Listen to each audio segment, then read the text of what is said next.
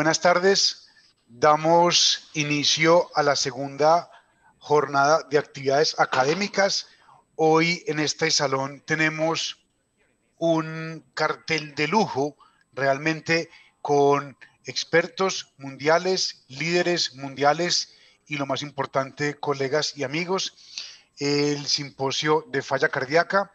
En este primer bloque tendremos la participación del doctor Héctor Ventura de New Orleans, el doctor Nicolás Manito de Barcelona y el doctor Gerásimos Filipatos de Grecia.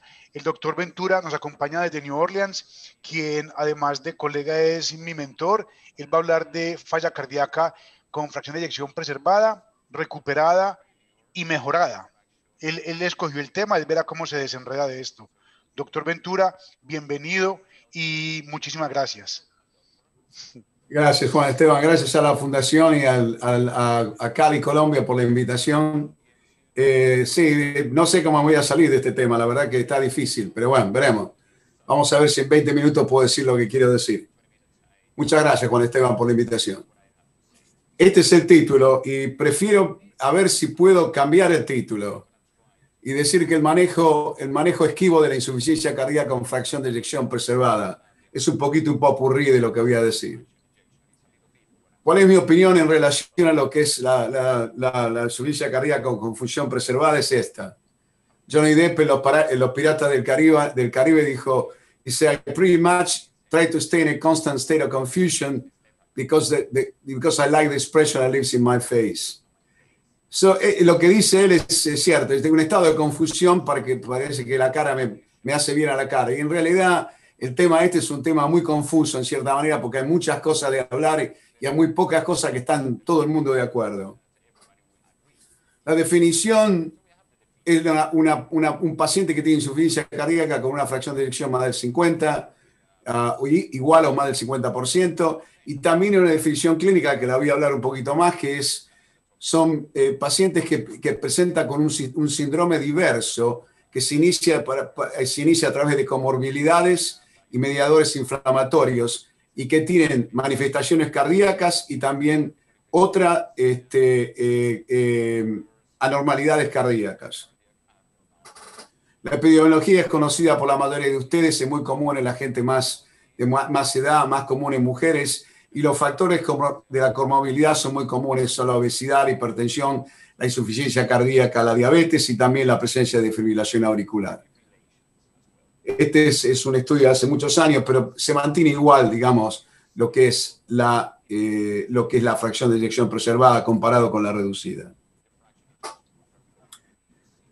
Hoy en día eh, se, se, habla cada vez más de este tema, es decir, hay ciertas cosas que pasan en estos pacientes. Obviamente dijimos las comorbilidades, insuficiencia renal, la, la, la inflamación sistémica, estos factores mediadores están aumentados en estos pacientes, hay hipertensión pulmonar, hay también este, hipertrofia ventricular izquierda, hay retención de sodio, también hay anormalidades del ejercicio y también anormalidades del músculo, musculares. Y ustedes pueden ver que también este, la señal del cardiomiocito, el endotelio, también produce ciertos problemas en estos pacientes. Y lo que decía antes es, una cosa sistémica y, que es más que ya, que ya la parte cardíaca.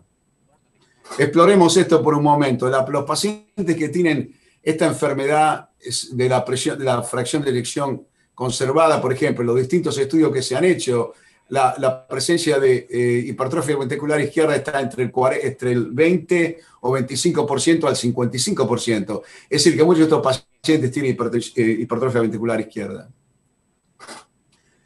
Ahora, lo interesante la definición de la hipertrofia ventricular izquierda tiene que ver también ¿Qué significa eso? Bueno, bueno, por ejemplo, este es un estudio de Brasil en autopsia que ustedes pueden ver que el 1, 2, 3, 4 depende cuánta hipertrofia y, cuánto tiene que ver con el diámetro del miocito. Pero lo interesante es que no solamente el músculo está aumentado, el diámetro del miocito, pero también hay más fibrosis. Es decir, más hipertrofia, más fibrosis, que también tiene que ver con la, la fracción de eyección preservada, la insuficiencia cardíaca. ¿Qué pasa con la aurícula izquierda? Por ejemplo, ¿cuál es la dilatación de la, aurícula izquierda en los estudios en los estudios, de, los estudios clínicos. En iPreserve, fíjese que es, altísima, entre un 50 y 80%. Es decir, la, la auricular, el aumento del, diámetro de de la aurícula también es muy grande. Y no solamente esto, es un estudio de Berma y la gente de Brigham que demuestran que, por ejemplo, más, más alta la, la, masa ventricular, más alta el volumen de la aurícula izquierda, más problemas renales existen. Es decir, muestra también lo que estoy diciendo antes, que es una enfermedad sistémica en cierta manera. Este es un estudio muy bueno de Caroline Lamb, eh, publicado hace, hace 11 años ya en el JAC, donde demuestran que los pacientes que tienen fracción de eyección, la insuficiencia cardíaca fracción de eyección preservada, tienen más prevalencia de hipertensión pulmonar. Pero no solamente tiene más, comparado con los que tienen hipertensión nada más, no más prevalencia. La mortalidad es más alta si la presión es más de 40 mililitros, milímetros de mercurio sistólica. Es decir, que este es otro target que existe de esta enfermedad. Y esto es, eh, nuevo. También en, un estudio de Maray, la fibrosis, que sería el, volumen de la matriz extracelular, más alto, la mortalidad es más alta. Como ustedes pueden ver acá, la sobrevida es peor. Por ejemplo, la amiloidosis, que es la que tiene más, la, sobrevida es peor.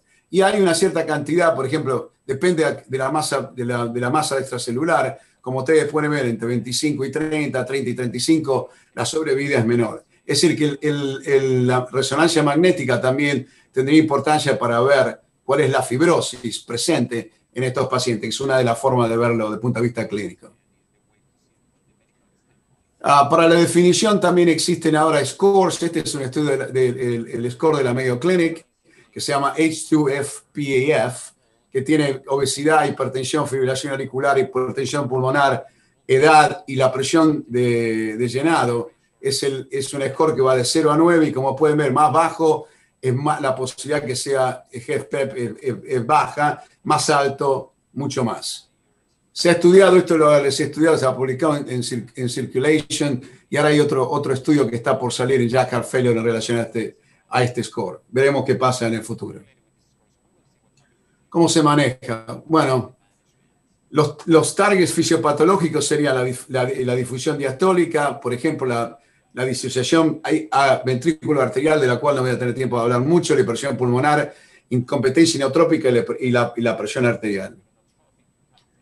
Ustedes pueden ver, la presencia de función diastólica, esto también, estos son los distintos estudios que se han hecho, sacando el, estudio Paragon, que como ustedes pueden ver, la difusión diastólica existe en algunos estudios, en todos los estudios puede ser normal, leve, moderado, severa. Ese sería un target, digamos. Pero el tratamiento se sigue hasta las, por ahora eh, todavía. Hay, este, bajar la presión, mantener la presión sistólica, el tratamiento de presión arterial es muy importante.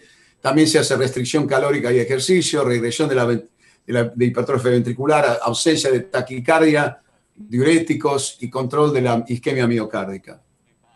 Esto es un estudio muy interesante de Lane Kitzman que muestra que en los músculos, la parte muscular está afectada en estos pacientes, por ejemplo, en la, la, relación entre la capilar y a la fibra es mucho más baja en estos pacientes comparado en azul con la gente de la misma edad, y eso se relaciona con una disminución de la, de la, de la eh, tolerancia al ejercicio. Lo mismo sería con los diferentes eh, tipos de fibra 1, que son menos comunes en los pacientes que tienen este, eh, eh, eh, eh cardíaca con fracción de eyección preservada.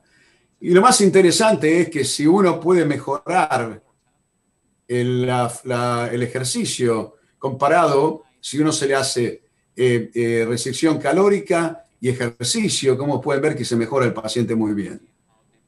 Es decir, que la restricción calórica y el ejercicio, disminución de la obesidad es muy importante en estos pacientes desde el punto de vista de tratamiento. Ah, fíjense, por ejemplo, que eh, estos son animales, obviamente, pero la fibrosis se baja con el inhibidor de la enzima convertidora más comparado con el antagonista del calcio. Hablamos que la fibrosis es importante. Esto es un estudio de animales, pero eh, muestra esa, esa, esa, esa disparidad, digamos, ¿no es cierto? Y esto es un ser humano en el cual se le dio eh, inhibidor de la enzima convertida por un año. Fíjense que esto todo rojo significa, significa este, fibrosis y un año después la biopsia es más normalizada. Es decir, que estas drogas tienen importancia en el tratamiento de estos pacientes. Y, mejorar la presión sistólica es muy importante. Esta sería la relajación mejora cuando la presión sistólica baja entre 22 o 10 a 21. Esto, sería, esto es con también del Brigand, que, eh, eh, con, eh, ¿cómo se llama?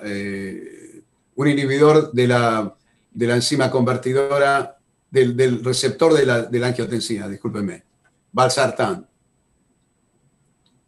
¿Cuáles son los clinical trials? No, no tengo tiempo de hablar porque tengo solamente 20 minutos, pero queríamos, estamos todos de acuerdo, creo, que el Top Cat demostró que en esta parte del mundo es significativo para, el, para la probabilidad de mortalidad y, y, ah, internación del, paciente, y en, el, en, el, este del, del, mundo parece que no es así. hay muchos motivos por el cual esto puede ser, no tenemos tiempo de hablar de ese tema específicamente.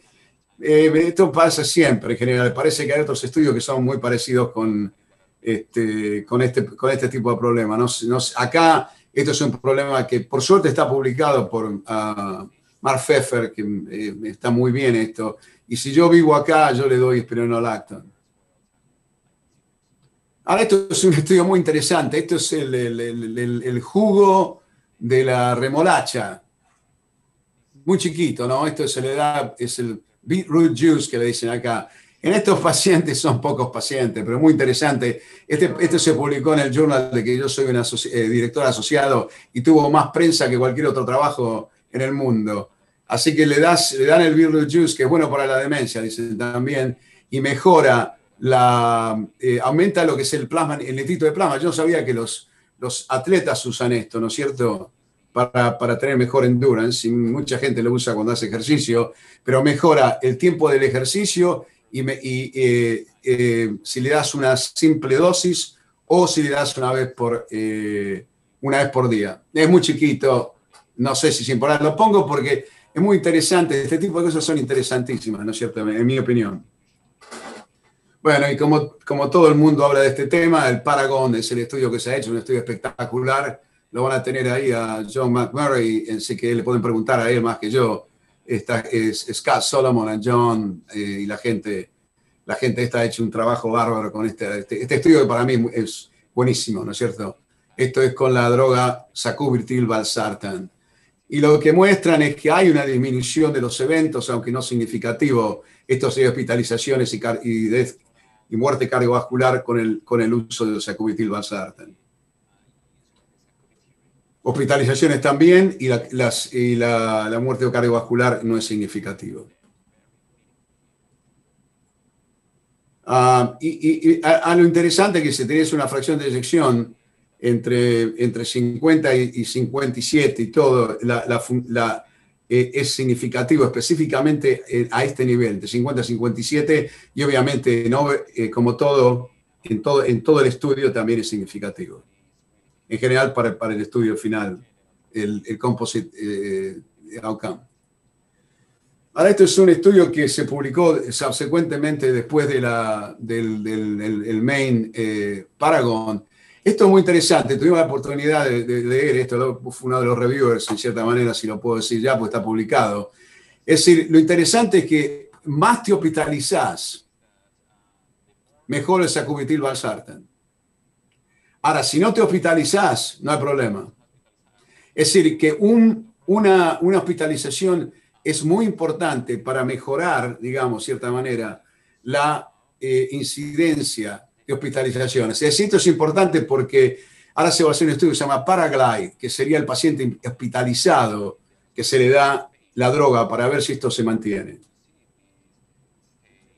Como ustedes pueden ver, eh, acá la disminución del, del, ¿cómo se dice? Del, del NT-proBNP, una vez que se le da el valsartan, es mucho mejor comparado con lo que es el valsartan solo. Por último, una cosa interesante es si uno, eh, por ejemplo, el sacubitril valsartan es otro trabajo, también que muestra que si uno le baja la, baja la presión más comparado con el Balsartan solo, pero los outcomes no son diferentes en realidad. Lo interesante es que muestra esta curva, la U-curve, la curva U en, todos los casos. Por ejemplo, si se baja mucho la presión, la mortalidad es alta, o si se mantiene muy, alta, también es muy alta. Es decir, tienen todo esto es muy similar eh, en, todos los, efectos de los, outcomes este. Es un estudio posterior también que se ha hecho, que se publicó en el Jack, en el Jack también. Tuvimos la oportunidad de escribir con Mandip, que lo van a tener después también, dos editoriales en relación a esto. Una que se llama Heart Failure with Preserved Ejection Fraction, Separating the Width from the Shaft. Este es en relación a las hospitalizaciones, la importancia de un outcome que es clínico y después el, cuál es la presión arterial que uno quiere. Y ya termino con esto. Los, los, finales, los, los comentarios finales son los siguientes. Esto lo dijo Carl Sagan, no, no hablando de, insuficiencia cardíaca con fracciones preservadas, pero de Dios, la ausencia de evidencia no significa que hay evidencia de ausencia. Es decir, obviamente hay, esto es un problema, no, es, tiene que estar, se tiene que saber, y bueno, en fin, eh, existe cada vez más desde que yo me acuerdo. En conclusión, es la forma más común y se asocia con significativa morbilidad y mortalidad eh, los, los, estudios clínicos están, son neutros en realidad, pero quizá el sacubitril valsartan va, va a cambiar un poco el, el, futuro de esto y después también las drogas eh, es, es LGT2 inhibitors, quizá cambien un poco esto también, pero ejercicio, ejercicio y, y pérdida de peso son importantes para, para mejorar estos pacientes, que es un problema grave en esta enfermedad se asocia con, em, em, eh, eh, las, con el que se envuelve la circulación pulmonar, insuficiencia cardíaca derecha, eh, muscular y función renal. Y quizá hay estudios, quizá estos sean no, targets, novel targets que pueden mejorar fenotípicamente la función de congestión del pulmón y otras cosas, y quizá también la mortalidad y la morbilidad de estos pacientes. Muchísimas gracias por su atención y lo dejo con esto. Espero que lo hice en tiempo, digamos. Doctor, muchísimas gracias eh, por aclararnos o tratar de aclararnos esta difícil patología o subgrupo de pacientes con falla cardíaca. Seguimos ahora con la nueva realidad de los pacientes con insuficiencia cardíaca post-COVID-19 otro, otro, otro tema enredado y difícil, pero esa es decisión de ustedes, que es a cargo del doctor Nicolás Manito de Barcelona, España, quien es el jefe del programa de falla cardíaca avanzada y trasplante cardíaco del Hospital Clínic de Barcelona. Doctor, podemos activar el micrófono y bienvenido. El micrófono. Activado y Presentación. En modo presentación. Perfecto. Bueno, en primer lugar, muchas gracias a, a 2020, sobre todo a Juan Esteban Gómez por la oportunidad que me da de participar en este magnífico simposio. Este es mi conflicto de interés y efectivamente estamos viviendo posiblemente la situación más dramática de nuestras vidas profesionales, tanto también a nivel social como a nivel profesional. Y efectivamente hay que aprovechar los momentos de amenazas para convertirlos en oportunidades. Yo quiero hablar de 10 puntos clave que pienso que pueden cambiar la realidad de la insuficiencia cardíaca en nuestra práctica clínica. Un primer punto que vamos a comentar es esta transición que hay de la presencialidad a la telemedicina y a la telemonitorización, especialmente a los seguimientos estructurados en pacientes con insuficiencia cardíaca. Otro punto es que la enfermería se ha consolidado como un estamento profesional clave en el control de pacientes con insuficiencia cardíaca, especialmente tanto de forma presencial como en telemedicina. Vamos y estamos viviendo cambios importantes en la optimización y en el manejo combinado de fármacos, sin demoras, buscando también a ser posibles sinergias. Tenemos que buscar una precisión cada vez más potente en el manejo de las comorbilidades, la edad, diabetes mellitus, el síndrome cardiorrenal. Y tenemos que abordar también y controlar enérgicamente la adherencia y la inercia terapéutica. Tenemos que abordar también trayectorias clínicas en insuficiencia cardíaca avanzada y hay que asegurar la accesibilidad a terapias avanzadas, asistencia ventricular mecánica, trasplante cardíaco Finalmente, la telemonitorización mediante dispositivos, cómo podemos evitar las hospitalizaciones, la explosión de e-health que vamos a vivir en los próximos años y que ya vivimos en estos momentos, y finalmente cómo va a cambiar la medicina de precisión, especialmente con machine learning, big data, inteligencia artificial. El futuro nos depara muchas ómicas, muchos dispositivos, robótica y esa conectividad tecnológica total. El COVID, efectivamente, es un problema grave para los pacientes con insuficiencia cardíaca por afectación directa, por, por, ejemplo, como las miocarditis, o por afectación indirecta, como puede ser la liberación de citoquinas y una situación inflamatoria importante, o los embolias pulmonares. Estos pacientes van a tener disfunción ventricular izquierda, ya sea de nuevo o empeoramiento para los pacientes que ya tienen insuficiencia cardíaca diagnosticada. Hay que evitar que el paciente llegue al hospital, hay que evitar que este paciente tenga que consultar.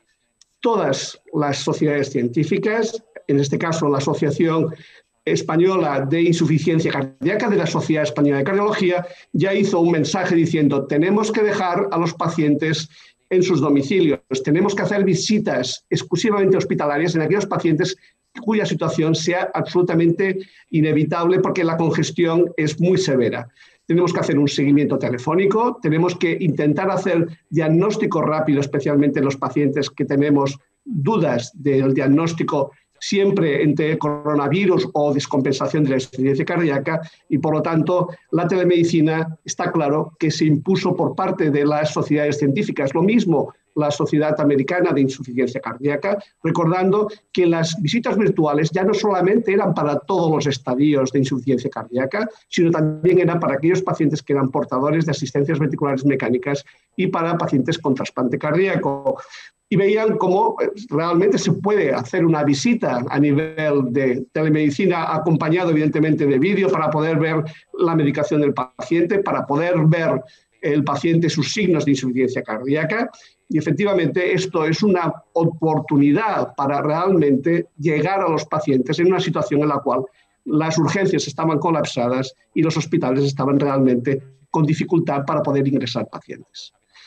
Pero la pregunta es, ¿necesitamos tener un COVID para plantearnos que tiene que haber una atención transicional integrada a la insuficiencia cardíaca? ¿Tenemos que aplicar modelos de integración de la insuficiencia cardíaca, modelos estructurados, planificados, donde se asegure la continuidad asistencial del paciente, porque se ha visto que estos modelos tienen una reducción de la mortalidad, una reducción de las hospitalizaciones y sobre todo mejoran la calidad de vida. Esta imagen que aquí compleja es nuestro modelo asistencial de seguimiento estructurado que se basa mayormente en una intervención intrahospitalaria, en una visita precoz posalta, en un seguimiento estructurado donde hay definición de cada uno de los eh, digamos, eh, profesionales que tienen que participar dentro de este seguimiento. Hay que buscar alternativas a la hospitalización cada vez más y sobre todo también plantear al paciente transiciones eh, avanzadas. Si fijamos en lo que es el seguimiento estructurado en nuestro hospital, ahí entra la relación directamente con los médicos de familia, con la atención primaria y como podéis ver aquí, el gran papel que juega enfermería para el seguimiento de estos pacientes en forma de telemedicina o en forma de seguimiento telefónico. Por lo tanto, el seguimiento estructurado ha llegado para quedarse no solamente por el COVID. El segundo punto es la enfermería. La enfermería en estos momentos es clave en las unidades de insuficiencia cardíaca. Este es el primer estudio que muestra cómo las enfermeras de falla cardíaca pueden titular los fármacos para insuficiencia cardíaca al igual que lo hacen los cardiólogos de falla cardíaca. Es el estudio ETIFIC, eh, se publicó eh, lo que fue el diseño en el ESC Heart Failure y ahora el estudio se acaba de publicar en la revista española de cardiología, comparaba una enfermera de insuficiencia cardíaca junto con un cardiólogo de una forma randomizada y lo que se veía era ver el objetivo primario en las dosis objetivos, sobre todo de betabloqueantes, como objetivos secundarios las dosis de IECAS, ARA2 o AR o antagonistas del receptor mineral corticoides y también objetivos secundarios como podía ser mortalidad e ingresos. Era un estudio de no inferioridad, de titulación por parte de la enfermera versus el cardiólogo. Y lo que se vio es que efectivamente las enfermeras de forma significativa no son inferiores a lo que realmente hace un cardiólogo. Es más, titulan a más nivel los metabloqueantes, titulan a más dosis también los IECAS y lo que es más importante, de una forma segura, igual mortalidad cardiovascular y también no inferioridad de forma significativa para no tener ingresos hospitalarios a los seis meses. Por lo tanto, es un estudio que cumple los criterios de la hipótesis inicial y las enfermeras además alcanzaron, aparte de estas mayores dosis, este menor número de, hospitalizaciones por insuficiencia cardíaca, aunque se tenían más números de visitas respecto a los pacientes. El punto tercero es el cambios en la optimización. Actualmente tenemos fármacos muy potentes, tenemos dispositivos muy potentes, tenemos que hacer un tratamiento intensivo e integral del paciente con insuficiencia cardíaca, pero aún así hay un riesgo residual, hay un riesgo importante. Se tiene que evaluar ese riesgo en los pacientes y esto eh, para evitar sobre todo ese worsening heart failure que el paciente puede llevarle a un advanced risk y evidentemente a una mortalidad. A día de hoy tenemos dos objetivos importantes, aparte de buscar la cuatriterapia, y uno de ellos es lograr el remodelado inverso. Hay que hacer, como decimos, el foco, el objetivo en el miocardio, intentar que este miocardio revierta su disfunción ventricular, revierta su dilatación ventricular. ¿Cómo podemos hacerlo? Buscando fármacos que sean potentes en este sentido. Yo creo que el estudio PROOF de consecutivo valsartán junto con datos que tenemos del estudio Evaluate, nos mostró que los pacientes con insuficiencia cardíaca y fracción de eyección reducida podían mejorar de forma significativa a 12 meses su fracción de eyección, casi a 10 puntos, lo mismo que ocurría con los volúmenes indexados ventriculares, diastólicos y sistólicos, los volúmenes auriculares y la ratio de prima como valor de disfunción diastólica. Por lo tanto, de lo podemos hacer y además de una forma precoz y sobre todo esto también se ha trasladado a lo que es la práctica clínica diaria y lo hemos visto, esta mejoría del remodelado ventricular. El otro punto clave es que teníamos cuatro targets terapéuticos que eran bloquear la angiotensina 2, bloquear la norepinefrina, bloquear la aldosterona y activar los péptidos vasoactivos. Teníamos fármacos para estos cuatro objetivos terapéuticos, pero es que actualmente tenemos otro objetivo terapéutico y es los ISGLT2, porque vamos a mejorar sobre todo la vía metabólica, el rendimiento energético del corazón. Y para ello vamos a utilizar estos fármacos, sus limitaciones, infecciones fúngicas, la limitación de la función renal, la caída inicial de la función renal o la depresión de volumen. Todo esto se puede abordar mediante o tratamientos tópicos para las infecciones o cambios en la, la medicación, por ejemplo, la valoración de los diuréticos en estos pacientes. Pero está claro que hay que introducir todos estos fármacos y esto es la cuatriterapia a día de hoy. Este estudio tan potente del grupo de Scott Solomon y de Mutu Bandugantán nos viene a decir que cuando utilizamos la cuatriterapia, comparada con la terapia convencional, que en este caso sería IECA, ARA2 y un beta bloqueante sin una ARM, realmente los resultados son muy potentes en endpoints duros, mortalidad total, mortalidad cardiovascular, pero lo más importante es que cuando nosotros utilizamos cuatriterapia en pacientes con 55 años, le estamos aportando una expectativa de vida de más de 8 años. Si lo estamos haciendo en un paciente con 65 años, estamos aportando una, cantidad de vida que llega también a los 6 años. Por lo tanto, la cuatriterapia se ha impuesto de una forma, yo creo que cada vez más, y yo creo que las guías van a ir en esta, digamos, dirección. En el punto de los pacientes con insuficiencia cardíaca aguda que se han descompensado, la hospitalización es una oportunidad para cambiar en estos pacientes sus tratamientos. Hay que pensar en que estos pacientes se puede realmente iniciar sacutilo valsartán gracias al estudio Pioneer y aunque evidentemente no es un endpoint duro, pero sí que se observó una reducción de los péptidos natriuréticos NT-proBNP en los pacientes tratados con sacutilo valsartán con una reducción del 29% a los ocho semanas, que fue lo que marcó este estudio.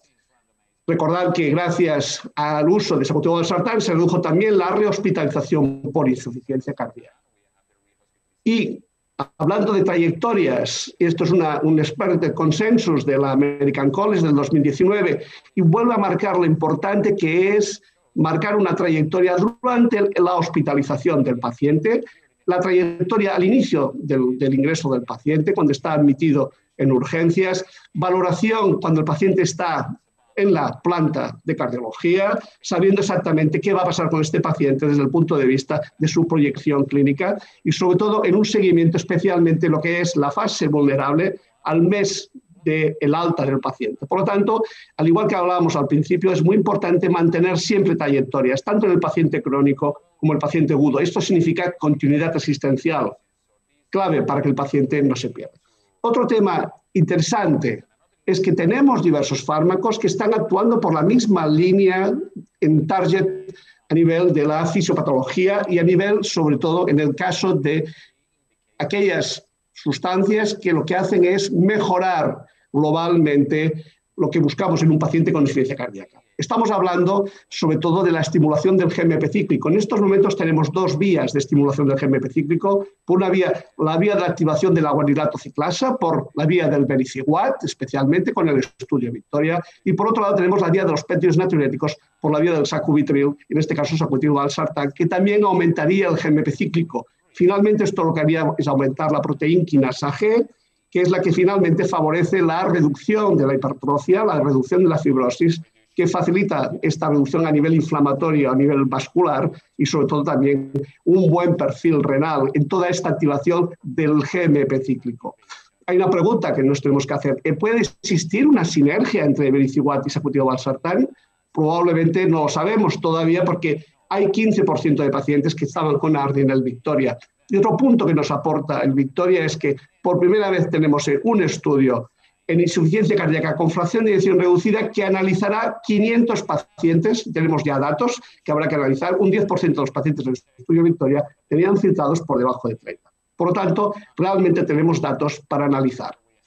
El punto que quizás también tenemos que abordar como quinto punto es los pacientes en estos momentos tenemos un problema de inercia terapéutica, pero la inercia terapéutica no es un problema solamente de los pacientes, es un problema sobre todo de los clínicos, en el cual actualmente dicen, bueno, mejor no hacer cambios, hay que esperar a ver qué ocurre con la situación, o mi paciente va haciendo bien, está bien.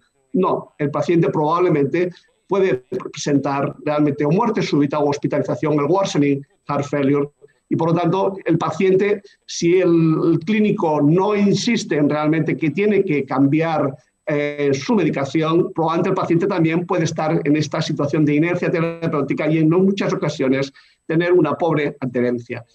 Y lógicamente también está el, sistema sanitario que muchas veces limita el que los pacientes puedan acceder a los mejores fármacos y a los mejores dispositivos.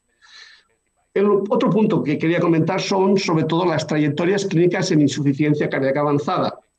Esta es la situación de España con el COVID-19. España, el país más potente a nivel mundial en número de donaciones de órganos y en números de trasplantes. ¿Qué está ocurriendo?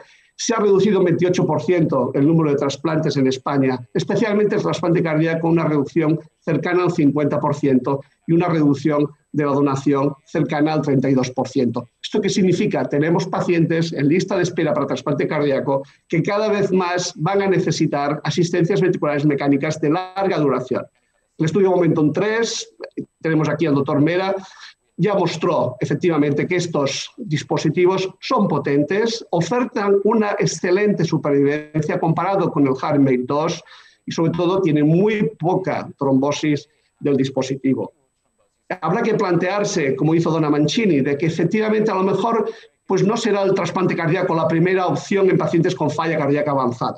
Posiblemente nos tenemos que plantear que los pacientes todos los pacientes que llegan como potenciales candidatos a trasplante cardíaco se les tendría que implantar una asistencia ventricular mecánica como terapia de destino, excepto aquellos pacientes que son malos candidatos a un a una asistencia ventricular mecánica de larga duración, como pueden ser los que tienen disfunción ventricular derecha, como los que tienen una miocardiopatía restrictiva, los que son intolerantes o que no pueden recibir anticoagulación, los que tienen cardiopatías congénitas complejas o aquellos que tienen insuficiencias aórticas muy severas que pueden ser complicadas de manejar durante una asistencia ventricular mecánica.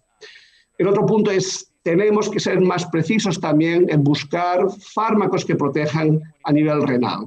En estos momentos tenemos dos grupos de fármacos. Por un lado, sacubitril valsartán. Sabemos perfectamente por el estudio Paradigm, tanto en pacientes diabéticos como no diabéticos, hay esa mejoría en la menor reducción de la caída del filtrado glomerular. Sabemos que modula muy bien desde el punto de vista la arteriola aferente y eferente, logrando que haya una mejor, un mejor equilibrio de la presión intraglomerular.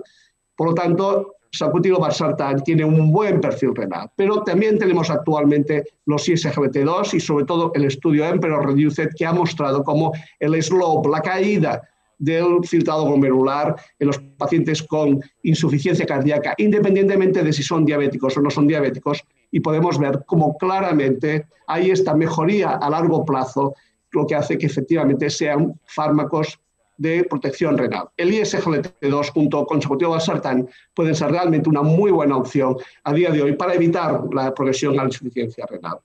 La telemonitorización mediante dispositivos, especialmente lo que es los dispositivos invasivos. Aquí tenemos CardioMens, ya las guías del 2016 recomendaban CardioMens como una forma de monitorizar a los pacientes, especialmente lo que medimos es la presión arterial pulmonar, sistólica, diastólica, la media, eh, sabéis que es un dispositivo que se implanta a nivel de, la arteria pulmonar y se queda allí de por vida porque mantiene una batería que no tiene una limitación de, funcionamiento. Y lo que más importante, estos son los últimos datos que muestran cómo CardioMERS efectivamente reduce la hospitalización por insuficiencia cardíaca, reduce todas las hospitalizaciones totales y sobre todo tanto en pacientes con fracción de eyección reducida, fracción de eyección intermedia y fracción de eyección preservada vamos a tener una playa de, gadgets, de cantidad de dispositivos que nos van a aportar muchísima información de datos biológicos de los pacientes y esto tenemos que saberlo integrar. Nosotros en estos momentos en el hospital estamos dirigiendo un estudio multicéntrico, que es el estudio Hermes, que utiliza una plataforma, la plataforma Pirini, que es el paciente va a controlarse mediante un dispositivo móvil, va a tener un tensiómetro, una báscula, va a tener también toda una, cada día un cuestionario de, calidad de, vida y por otro lado de sintomatología. Se conectará también a través de, un, de, una, de un ordenador con el equipo médico y el equipo de enfermería. Esto es un paciente de, nuestro hospital haciendo una teleconferencia con nuestra enfermera. Está claro que esto nos ayuda a controlar a los pacientes, especialmente aquellos pacientes que tienen descompensaciones y nos permite ajustar los diuréticos y efectivamente nos permite reducir eh, una posibilidad de ingreso hospitalario. A esto es un metaanálisis que nos dice que efectivamente ya no solamente la monitorización invasiva, sino la no invasiva, también se ha visto que permite una reducción de la mortalidad total y de las hospitalizaciones por insuficiencia cardíaca. Finalmente, tenemos nuevos, ya nuevos dispositivos. Este es el dispositivo Cordela, que ya no solamente integra un detector de la presión a nivel pulmonar, sino también es un sistema que nos ayuda a ver los, datos de los signos vitales del paciente, nos permite interactuar con el paciente. Ya estos son 15 pacientes presentados por el grupo de Wilfred Millens, con buenos resultados desde el punto de vista de mejoría de la capacidad funcional y de la clase eh, de la NIJA. Por lo tanto, más dispositivos para poder controlar a los pacientes. Finalmente, Big Data va a cambiar y va a cambiar mucho lo que es la medicina basada en la evidencia. Recientemente este paper de la Sociedad Europea de Cardiología nos lo está diciendo. Tenemos un problema con los clinical trials en la situación del COVID. Tenemos que hacer cambios. Posiblemente los clinical trials van a ser más pequeños y más limitados en estos momentos había que plantearse, como Tarik en este editorial en el 2018, yo apuesto, decía, porque los clinical trials del futuro se van a basar en la biología, en los biomarcadores y en el big data. Estudios más pequeños, pero mucho más potentes. Posiblemente esto es el futuro de las que va a ser la medicina basada en la evidencia, una medicina de precisión.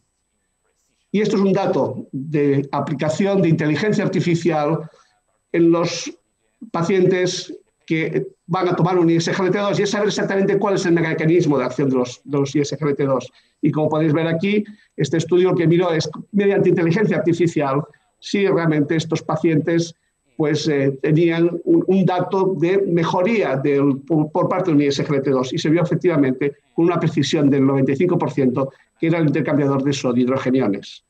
El futuro nos aportará dispositivos como eh, este que veis aquí, asistencias articulares mecánicas, sin cables. Esto es probablemente ya una realidad y quizás es más claro en el futuro que va a ser así.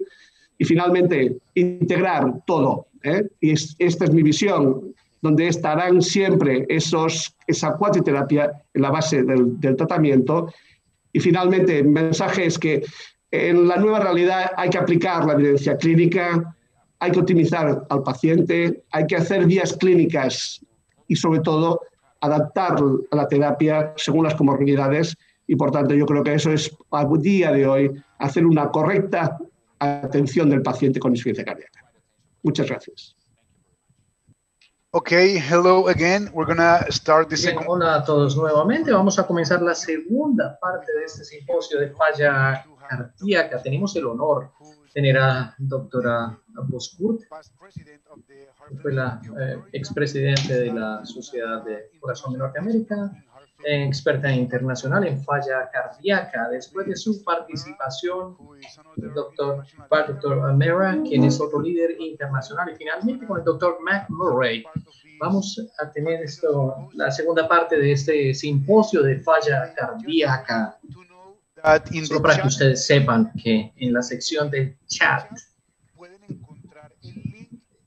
you, inglés, español, español, inglés le dan clic al chat y él les en ese link y él les despliega el instructivo para que ustedes puedan hacer la traducción.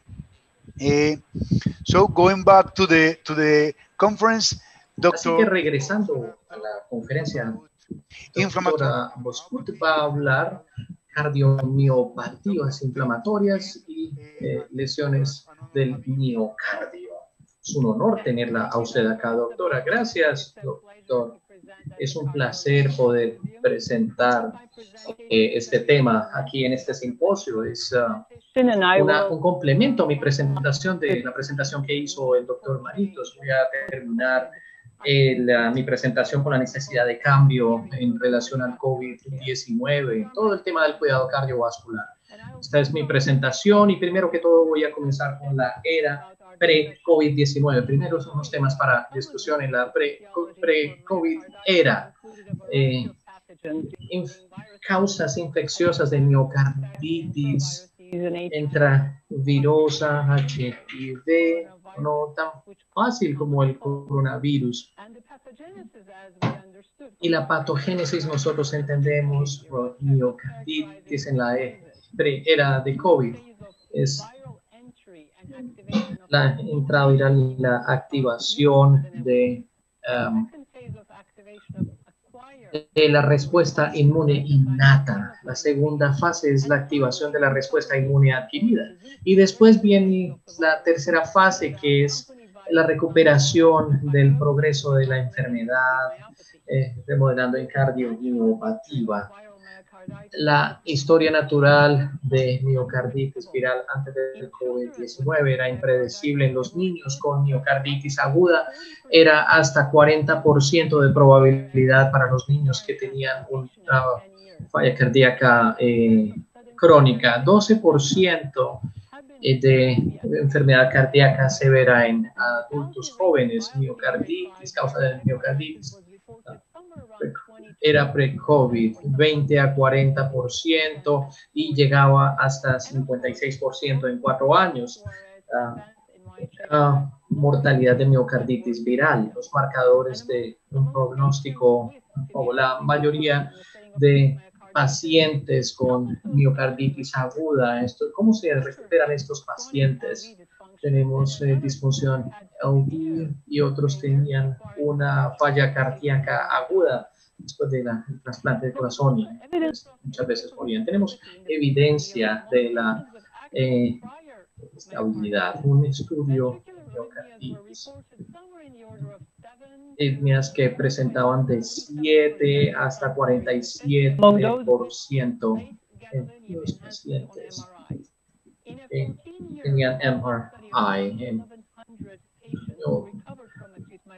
1.100 pacientes que se recuperaron de miocarditis aguda después de, eh, tenían un 6 a 8%, incluso aquellos que no requerían terapias muy avanzadas en el principio. Las presentaciones clínicas, en la era pre-COVID, tenemos eh, como eh, frecuencia comenzando de unas cuatro semanas de respiratoria. Los diagnósticos en la era pre-COVID, en histología, eh, datos histoquímicos, las biopsias que se obtuvieron o eh, criterio del diagnóstico de miocarditis, tenemos eh, los diagnósticos de miocarditis y eh, las infecciones, eh, coronavirus y complicaciones eh, vasculares. Históricamente el coronavirus ha sido asociado con los daños miocárdicos. los individuos, no hay una amplia evidencia de miocarditis aguda. SARS-CoV-1 impecable, eh, 35% de los corazones, pero no fue asociado con la miocarditis linfocítica o, miocarditis viral clásica. Y los infectados con COVID no reflejaron miocarditis y solo fue un caso eh, reportado, diagnóstico de COVID miocarditis. Ahora hablemos de la era del COVID, del espectro de en la presentación cardiovascular aguda en contraste con los eh, síndromes. Nosotros describimos un síndrome de cardiovascular aguda en la presentación, pero se solapa. La naturaleza para todas estas presentaciones fue un patrón inflamatorio de lesión. Y una vez más, la variedad de escenario, eh, pero nosotros estamos limitados ahí. Un criterio de diagnóstico existente, en las eh, definiciones tradicionales formales, un eh, síndrome coronario agudo, complicaciones, pero si nosotros vemos el examen, el común denominador de todo esto es que parece ser un, todas estas identidades, pero probablemente esto es reconocido por inflamación y un efecto anormal de la inflamación y del nivel de miocardio. Y por supuesto hay posibilidades de incrementar la demanda, eh, hipoxia, eh, patrones de lesión y parece una lesión y puede ser microvascular y llegar a macrovascular, todo lo que vemos aquí. Nosotros reconocemos los datos aquí que tenemos. Un tercio de los pacientes han sido hospitalizados, especialmente entre ellos con enfermedad cardiovascular preexistente y niveles asociados con mortalidad. Y los niveles fueron más altos junto con otros biomarcadores eh, de stable y muchos de ellos que mueren. Y el tiempo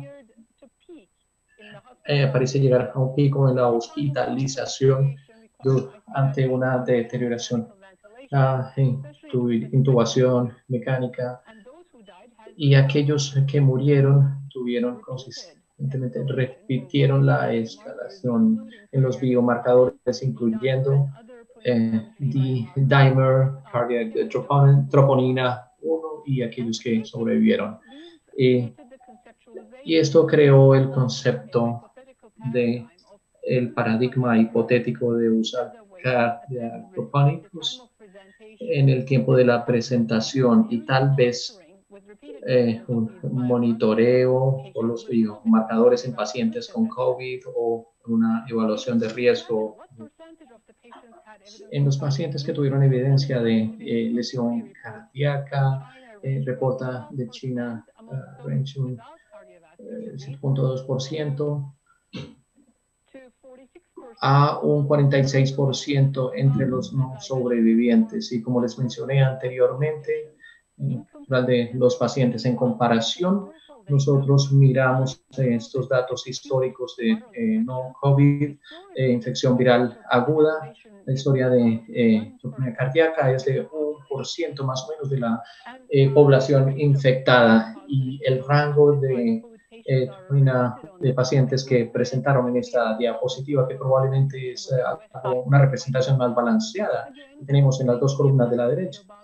Nosotros estamos viendo una posibilidad de 12 a 40% en los pacientes y nosotros miramos eh, en imágenes. Hay pocos estudios que muestran eh, las ah, imágenes en esos estudios. Esto representa eh, los pacientes hospitalizados de una manera prospectiva y sistematizada que con los pacientes con COVID. La admisión muestra que esto era anormal. En un 68% de todas las hospitalizaciones, el 10% mostraron eh, diastólico y 40% mostraron disfunción. Y por supuesto, eh, troponina elevada y estudios clínicos asociados, eh, especialmente con la disfunción.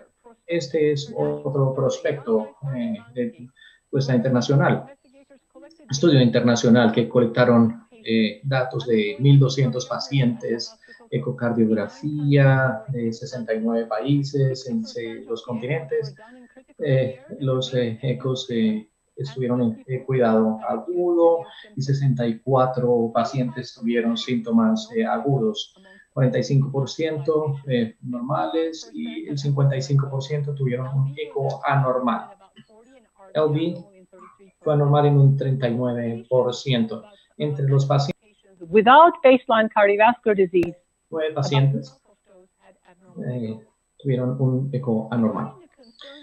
Eh, en lo que cuenta con eh, lo que es cardiac arrest durante el COVID-19, incrementa durante el COVID y el 78% serán atribuibles a, al COVID como tal. Eh, viéndolo con el año anterior, teníamos eh, eh, cardiac arrest antes del COVID con un rápido retorno a ser normal.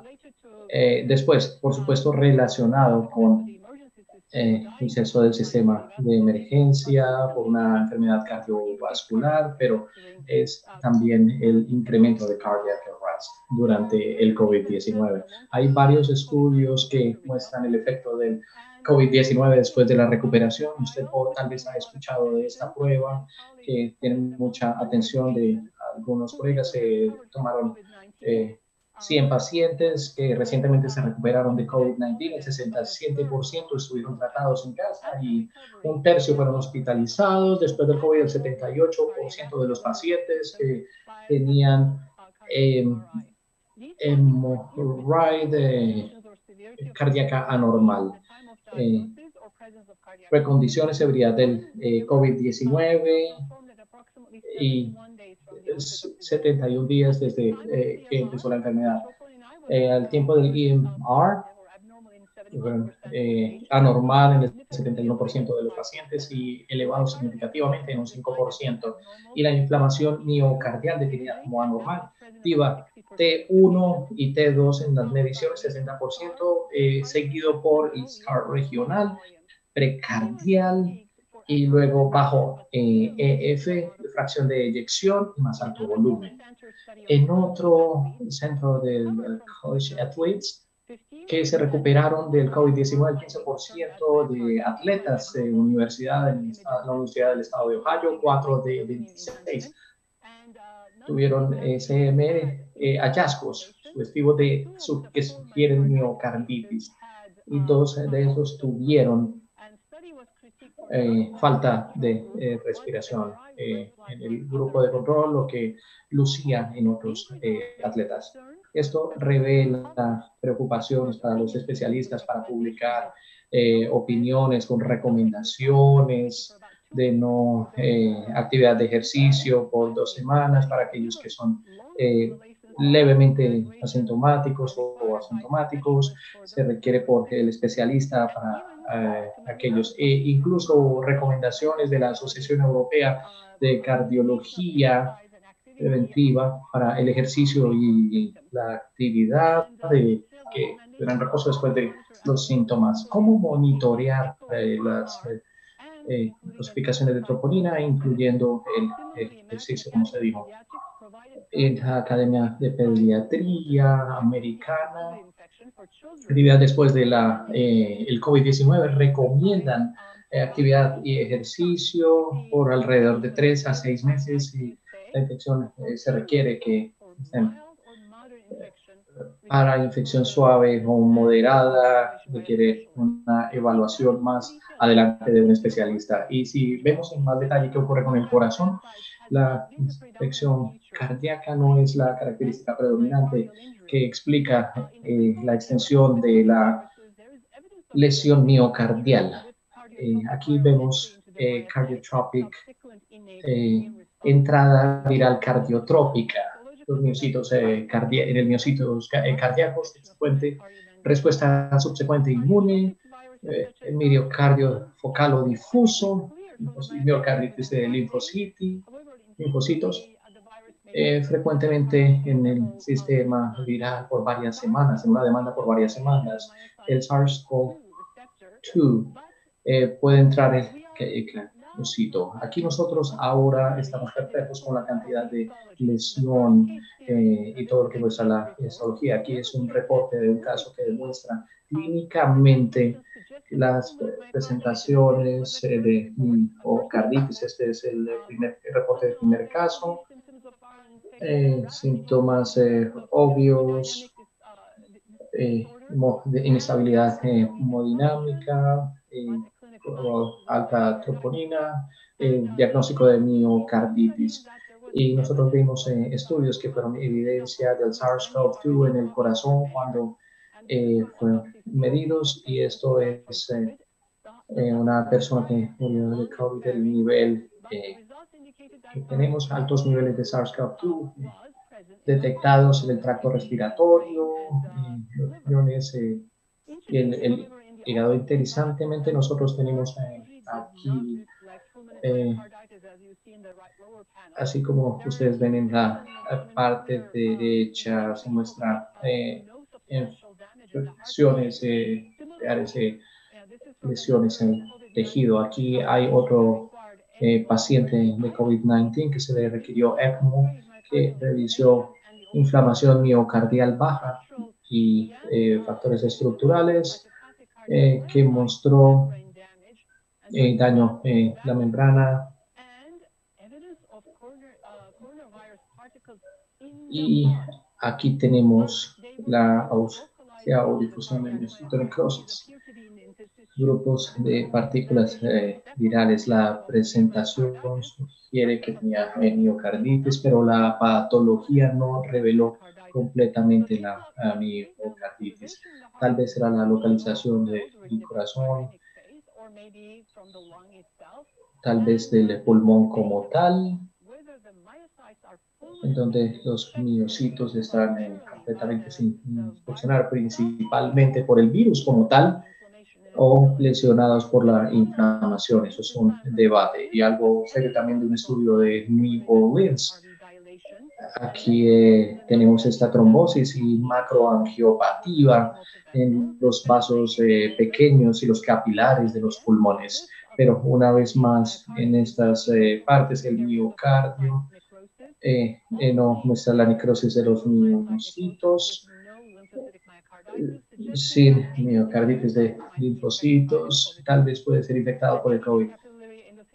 Eh, el capilar y aquí la lesión es con la inflamación que causa la eh, lesión. Así que nosotros no estamos viendo paradigmas de cambio, un camino que nos lleva hacia la enfermedad cardiovascular relacionada con el COVID, la presentación por la infección del COVID-19 es un paradigma para todas las eh, presentaciones cardiovasculares, incluyendo eh, todo eso.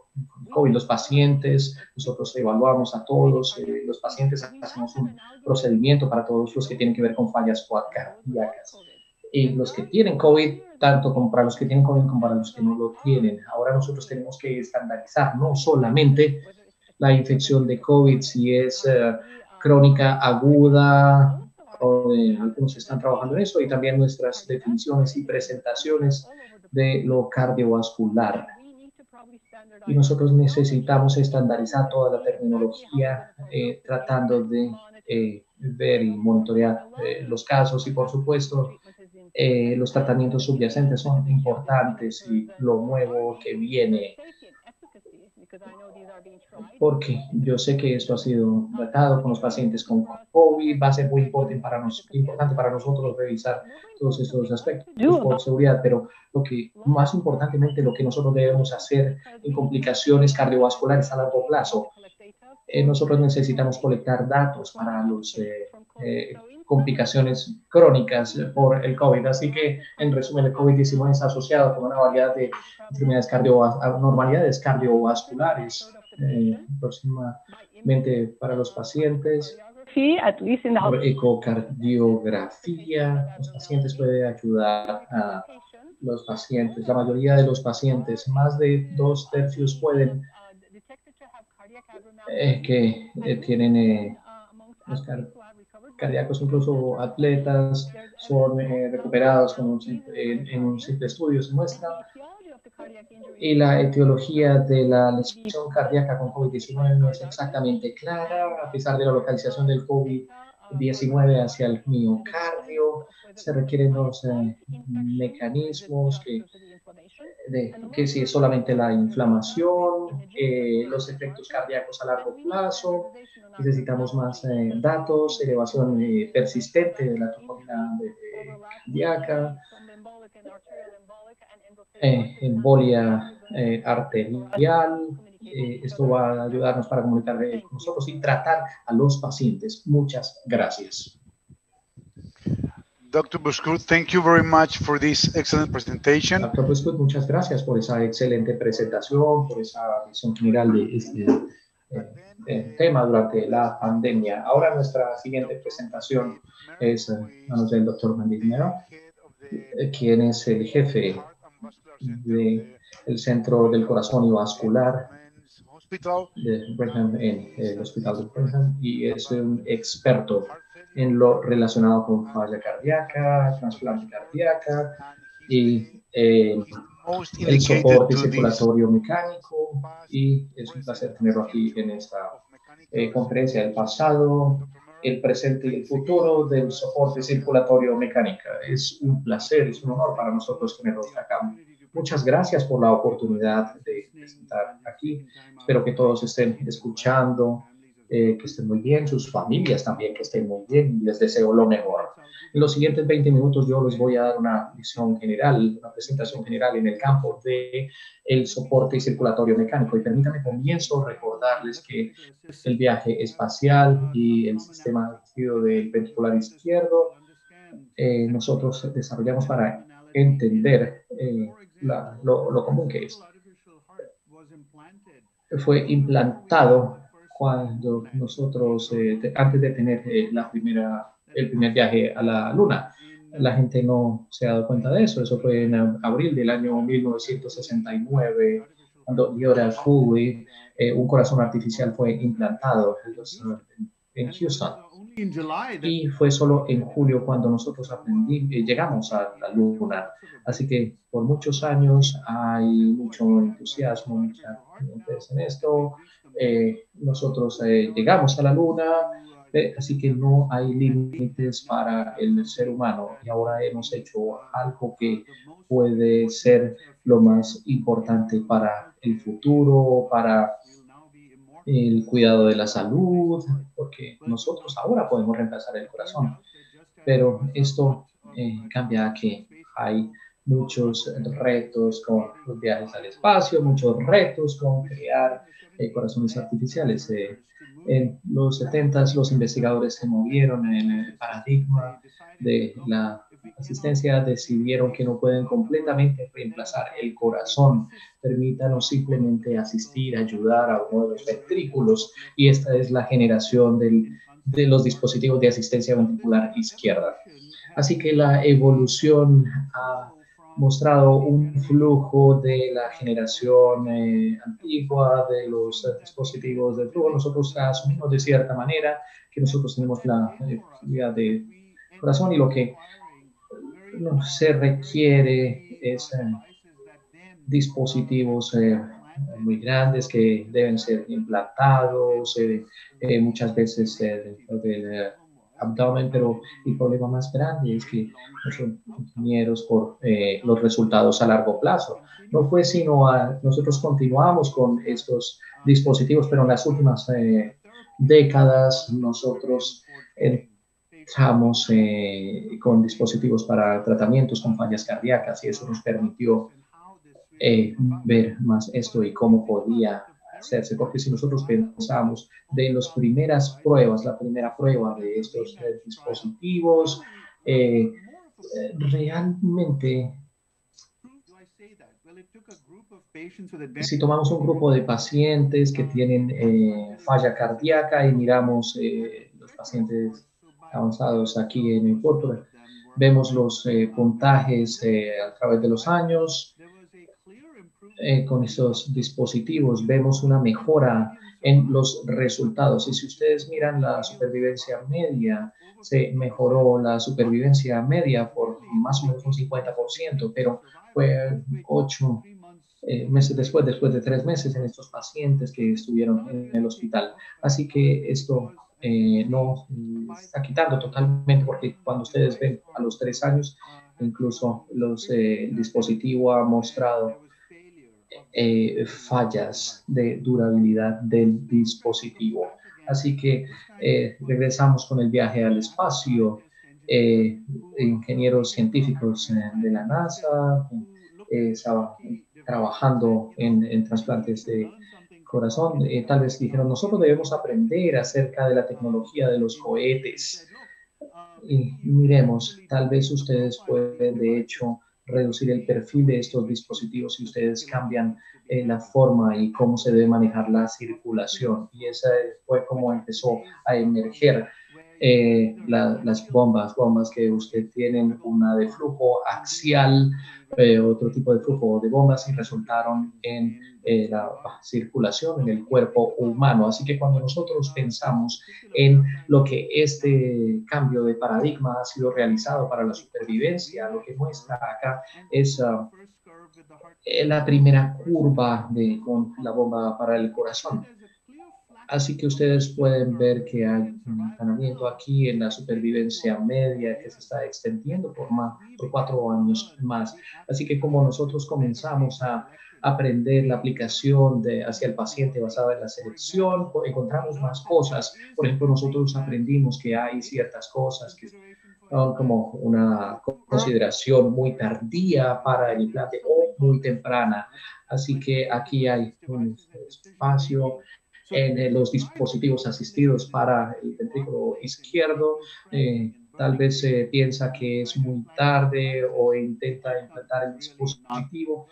El resultado pues no va a ser muy bueno. Así que como nosotros aprendimos eso, también aprendimos a tomar muy buen cuidado de estos pacientes y el mismo dispositivo Después del tiempo seleccionamos mejor los pacientes, hicimos nuestra gestión de estrategia de administración mejor. Nosotros de hecho vimos eh, una mejora en, la segunda, en las bombas de segunda generación. Y más recientemente, eh, la parte eh, desafiante que emerge es el concepto relacionado con los resultados. ¿Cuál es la comparabilidad de estos dispositivos? Son diferentes de biocompatibilidad. se relaciona con los resultados que se encuentra como una, una interfaz y hay varios eh, patrones distintivos entre que muestran tres efectos únicos que encontramos. El primero de todos es la ocurrencia de eh, la bomba eh, trombosis comienza a bombear en una manera continua y hay una amplia incidencia de 6 a 13% dependiendo las, los dispositivos de, de segunda generación. Eh, pueden de hecho ya hasta eh, bombeo eh, debido a la estructura de eh, las células de los glóbulos rojos. El segundo reto grande ha sido las complicaciones neurológicas. Yo he estado en la existencia hasta la, el lanzamiento de los nuevos dispositivos. Hemos estado discutiendo y estos han estado vinculados más con el manejo de la presión sanguínea y la regulación. Eh, las características mecánicas tienen que ver eh, el dispositivo, cómo es insertado cómo es colocado la y hablaremos más de eso mejor. Eh, tal vez más hallazgos que hemos encontrado en, en los resultados comparativos. la parte gastrointestinal que eso tiene que ver con las malformaciones de arteriales, es con, el desarrollo adquirido del factor de deficiencia debido a eh, los multimers altamente elevados como resultado de este alto estrés en circulación. incrementa la, la circulación. Y esto es algo muy desafiante para nosotros porque nos permite ver técnicamente la ecuación dinámica en donde tenemos sangrado, entonces eh, eh, ver el espectro que eh, se relaciona con la trombosis, entonces necesitamos una anticoagulación más adicionada y el flujo sanguíneo. Este es el reto principal con este tipo de dispositivos y varios estudios que han sido realizados que no voy a compartir con ustedes de resistencia que es comparado con el HeartMate 2, con la bomba hardware eh, fue realizado, que tuvo una población que estaba en, en los 60, eh, los años de 60 de eh, edad.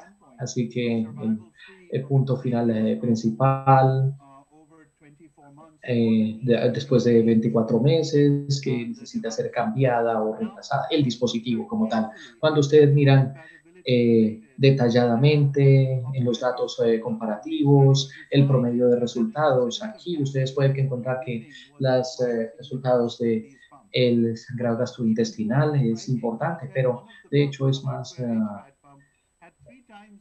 asombroso ver que tres veces el stroke o la falla, la bomba HeartMate 2 tenía más alto el riesgo que la bomba normal, ninguna de estas bombas.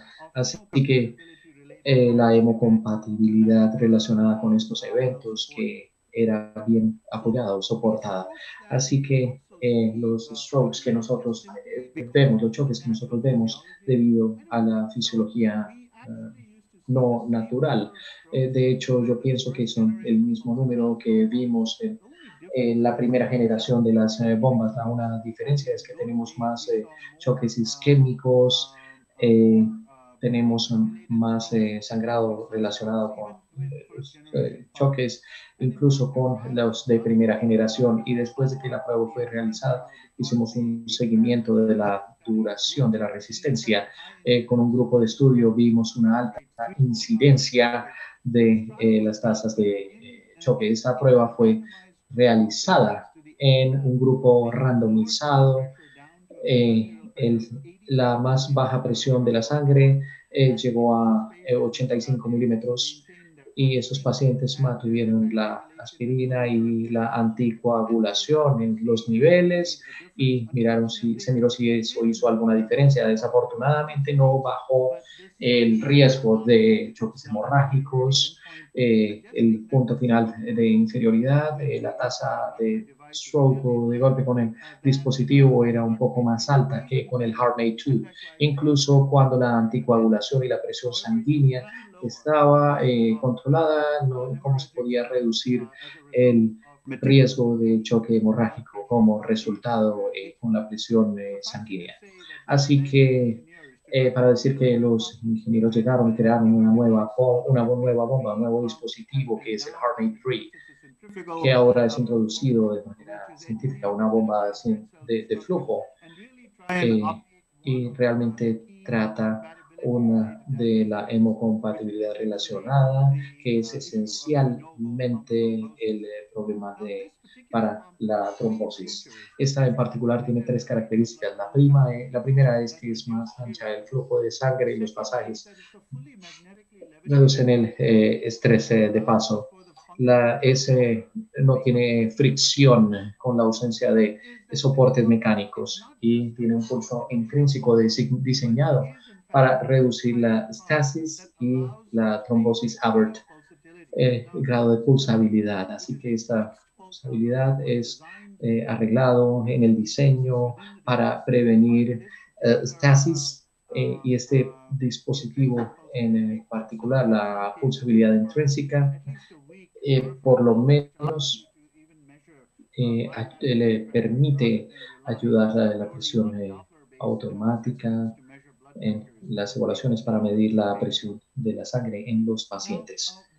Ahora, en el momento 3, la prueba del momento 3, nosotros eh, comparamos con eh, nosotros hicimos una comparación, había evidencia que por lo menos en dos años los resultados habían mejorado y había resultados que se acercaban a los dos años. Nosotros vimos que con el trasplante de corazón en pacientes con un, 80%, dos años de supervivencia. De hecho,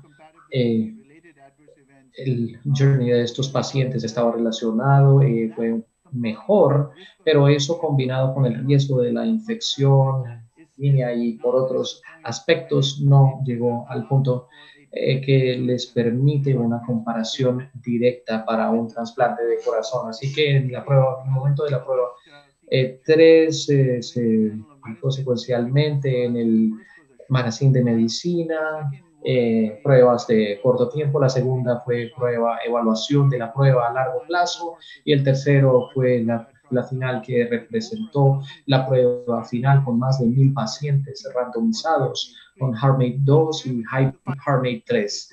Eh, tuvimos los resultados finales registrados hace un año más o menos y este, esta prueba particular, la primera de las pruebas eh, de análisis de poder después de seis meses, realmente muestra que había una eliminación meses, eh, con la nueva ah, bomba. Y esto llevó a una superioridad de la bomba en ese sentido. Después de los dos años, estos hallazgos se mantuvieron y de hecho otra observación realizada fue la reducción de incidencia de tasas de choque de strokes con eh, un, en, un seguimiento sugiriendo que había una reducción en los eh, strokes, en los choques. Y en el final, análisis final de eh, los más de mil estudiantes que se analizaron, eh, lo que nos llamó la atención es que no solamente era la mera eliminación de eh, esto, sino la, la, tasa de strokes y había una reducción en el sangrado gastrointestinal. Así que, como consecuencia, la reducción en hospitalizaciones y también en las arritmias ventriculares y otras arritmias cardíacas con esta bomba. Así que claramente en, eh, se veía que estaba mejor y tal vez eh, más efectivo en costos que con el HeartMate 2, que no era tan efectivo en costos. De otro hallazgo importante de este estudio en particular fue que si usted intenta utilizar la bomba para trasplante,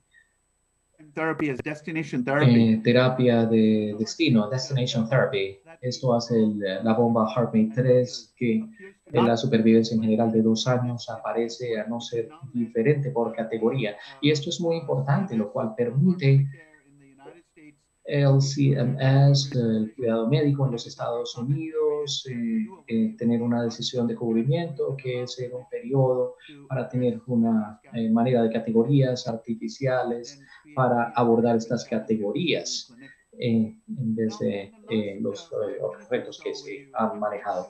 Así que en los últimos cinco minutos que compartí con ustedes, que quiero compartir con ustedes, voy a discutir una noción importante de la recuperación eh, tal vez usted eh, implanta el LVAD, eh, la recuperación miocardial, pero uh, los datos no han ido en esa dirección. Y parte de la pregunta que sale es que si el corazón recuperado, incluso si usted eh, descarga el ventrículo izquierdo, hay una deformación de memoria. Eso es verdad porque si usted mira las características de las células en pacientes que han sido descartados del ventrículo izquierdo, solo el 5% de los genes desregulados eh, regresan a lo normal después de la implantación del dispositivo de ayuda eh, vascular izquierdo. Entonces, eh, hay una matriz acá que no regresa a lo normal por sí solo.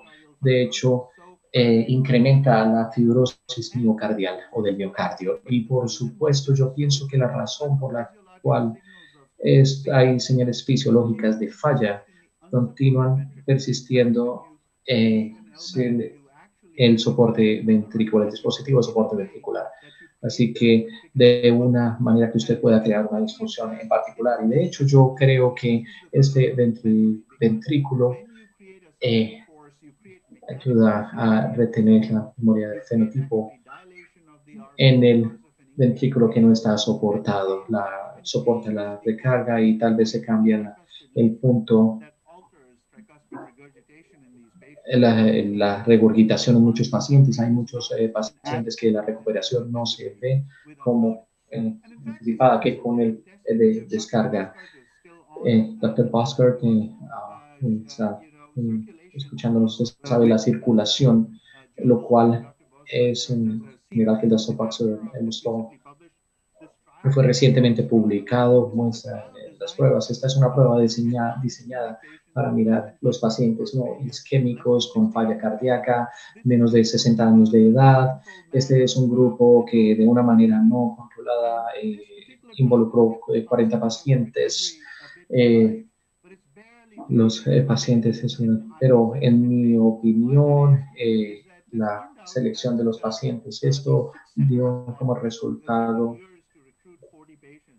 que incluyó una ah, población de, riesgo, cerca de un 37.5% de la población a los dos años pudo eh, ser eh, espantada. Y, y la principal pregunta con esta prueba, ¿qué tan representativa es esta población? si miramos los datos cuidadosamente de los pacientes en sus 30 y el promedio de edad en eh, falla cardíaca es por menos de un año. No es algo, una población eh, muy generalizada, pero por, para algunos pacientes usted puede considerar la explantación del dispositivo. Lo, final, lo último que yo quiero compartir con ustedes es eh, algo, es la razón por la cual ustedes no están viendo eh, la operación del corazón como tal. La implantación durante los LVADs en las pruebas en un punto final de seis meses sugirió que después de eh, no había una facilitación de la remodelación del ventrículo izquierdo eh, después de una que no está descargando por sí solo y es dos en la recuperación miocárdica. Es una opción una remisión pero no necesariamente la recuperación y aquellos que ven la recuperación son esos pacientes que ven la recuperación del ventrículo derecho, que están destinados a tener eso. Así que permítanme, yo termino mi discusión con ustedes, mi conversación con ustedes, eh, recordándoles algo que dijo Stephen Hopkins, que fue un gran científico que eh, invirtió su vida en una silla de ruedas. Eh, como mal parezca la vida, siempre hay esperanza. Muchas gracias por toda su atención el día de hoy. Doctor, thank you very much for this interesting journey. Muchas gracias, doctor, por esta interesante presentación. Yo espero que estemos eh, al final con las preguntas que se incluyen en el chat. Ahora nosotros tenemos finalmente el honor de tener al doctor McMurray, quien está con nosotros desde el Reino Unido.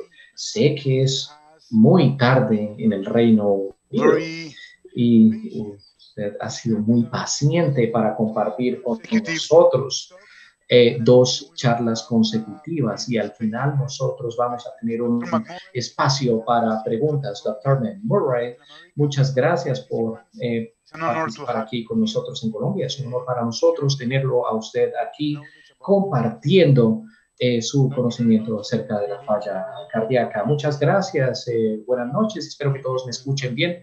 Gracias por invitarme a hablar en este congreso y que pueda yo ayudarlo. Pues la primera parte de mis dos presentaciones tiene que ver con eh, las pruebas de falla cardíaca con SGLT2. Estas son mis ah, presentaciones.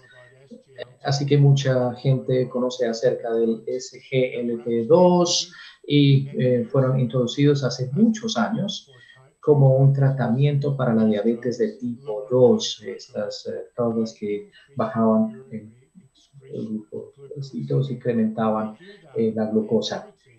Y por inhibición, la absorción de la glucosa filtrada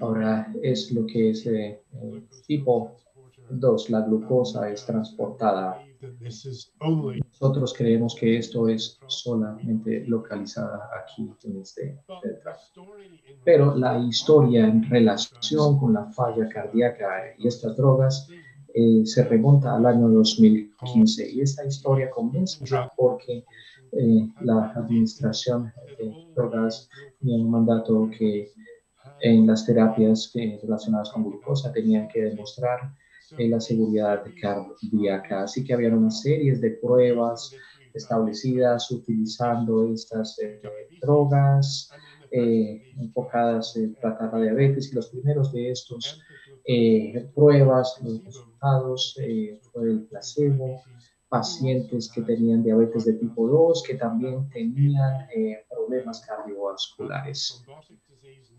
De eh, en otras palabras, eh, eh, problemas cardíacos, enfermedades cardíacos, problemas arteriales, pacientes con diabetes de tipo 2 y esta prueba anunció uno de los hallazgos que impactan fue este 5%, la reducción de 5% en la falla cardíaca, en la hospitalización, muy poca gente participado hallazgos con la curva. La mayoría de la gente estaba muy sorprendida eh, por el cambio que ustedes podían ver, esta separación de los eh, marcadores sugiriendo que esto eh, usaba los beneficios. Así que regresando al año 2015, donde se empezaron a usar estas drogas, que prevenían la falla cardíaca y se empezó a establecer eh, SGLT2 que fueran eh, de beneficio para tratar pacientes con eh, falla cardíaca. Y nosotros tuvimos dos preguntas adicionales. Teníamos que pensar cuando estuviéramos diseñando los, ah, las primeras pruebas. Una pregunta era, en estudio, solamente los pacientes con la diabetes de tipo 2 o cualquiera con falla cardíaca eh, nivel de glucosa, si pudiéramos eh, utilizar estas drogas, estos medicamentos. Y por supuesto, la segunda pregunta grande era, eh, debíamos estudiar este tipo de tratamientos en eh, HFF, HFF. Nosotros decidimos que nosotros estudiaríamos esto y hace un año aproximadamente mostramos los resultados de las pruebas, aquí y esta es una comparación con eh, DAPA eh,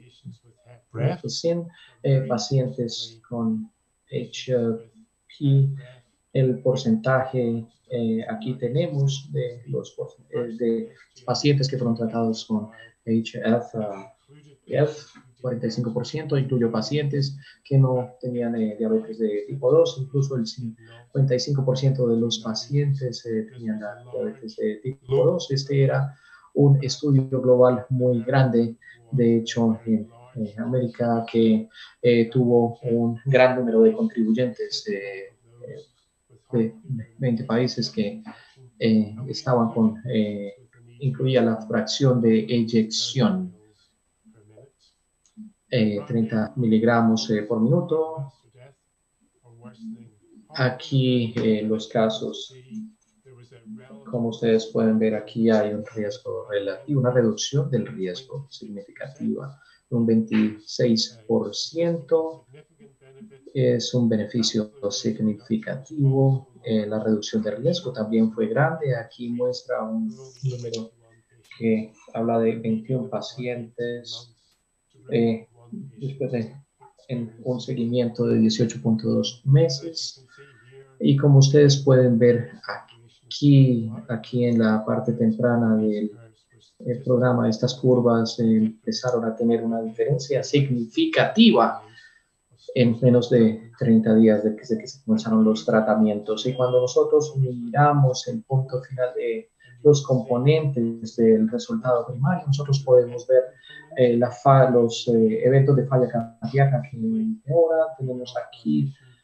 Eh, la hospitalización fue reducido de una manera significativa, al igual que en las muertes por temas cardiovasculares. Y cuando nosotros miramos aquí los, las otras posiciones. Nosotros cuando miramos eh, la mortalidad de, cualquier casa, nosotros, cosa, nosotros podemos ver aquí la, consistencia y podemos ver todas eh, estas eh, hospitalizaciones, puntos de hospitalización y mortalidad. La diferencia es significativa y se veía que, que cuál era la terapia convencional mejor.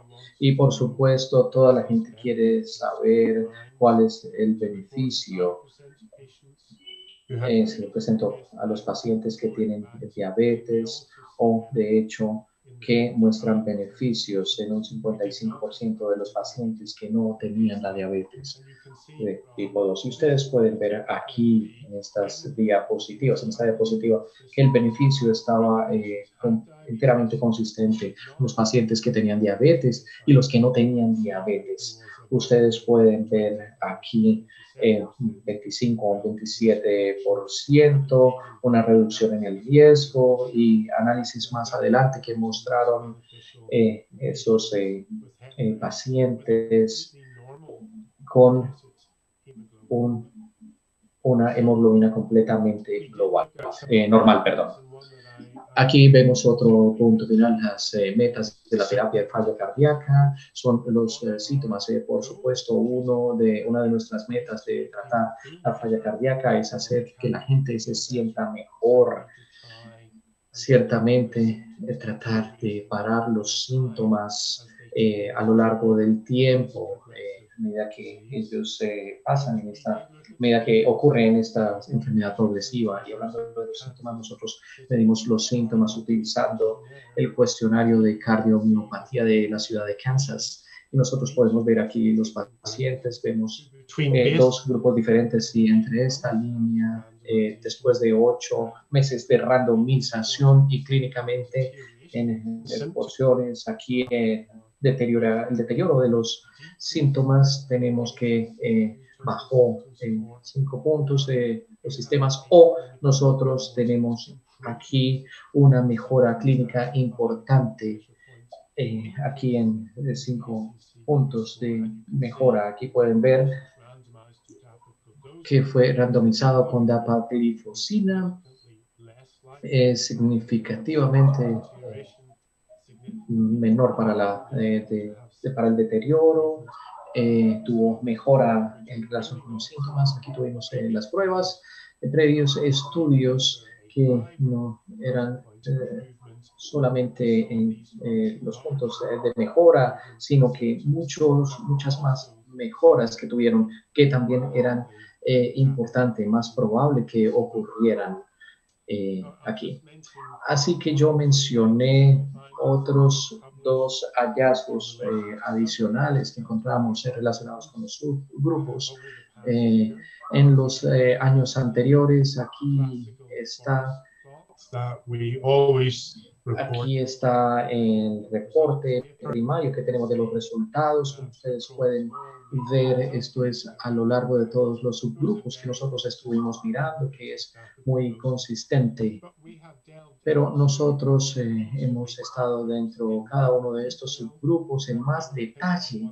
Yo voy a tomar uno o dos particularmente que son importantes. Uno de estos se mira al efecto del tratamiento por IH por edad y nosotros podemos ver el resultado primario. Aquí vemos la línea verde que es eh, el radio de riesgo o peligro comparado con el placebo. Aquí tenemos el, el 1 que muestra eh, la línea horizontal en rojo. Y aquí tenemos el eje X aquí que les muestra la edad desde los 40 años de edad, llegando hasta los 90 años de edad. Todos estos pacientes eh, que tuvieron esta edad en la prueba y ustedes pueden ver eh, respecto aquí del estudio que era enteramente consistente a esos pacientes y también eh, era muy eh, retador en esta etapa. Esencialmente, incluso en la gente de edad. Así que esto eh, muestra que fue efectivo incluyendo eh, estos pacientes. Por supuesto, otra de las preguntas que nosotros tenemos que se me han realizado, el inhibidor y otros efectos de las terapias que nosotros tenemos para la falla cardíaca, que fue publicado en detalle, así que ustedes pueden ver algunos de esos tratamientos comúnmente usados. Tenemos aquí uh, dexotina, ARNI, IVA, Bradin, y ustedes pueden ver aquí esencialmente el factor del tratamiento, y aquí pueden tener los radios de, riesgo entre estas terapias, eh, el valor del punto de interacción. Nosotros podemos mirar eh, más eh, tratamientos, incluyendo los pacientes que incrementan la dosificación, también de los pacientes que tienen dispositivos con siempre es el beneficio que es eh, consistente con unos beneficios generales en las pruebas generales de operación.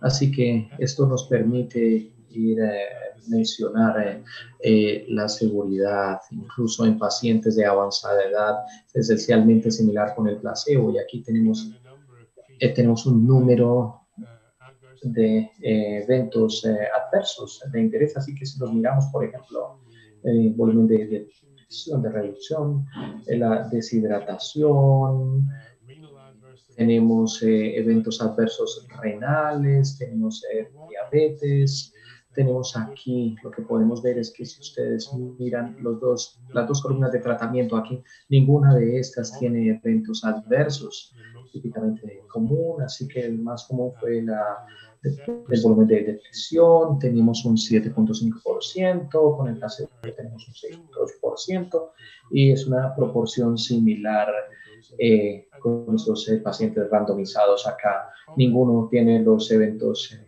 adversos, ninguno tenía un, algo significativamente común en los pacientes que fueron asignados para DAPA-H, falla cardíaca DAPA.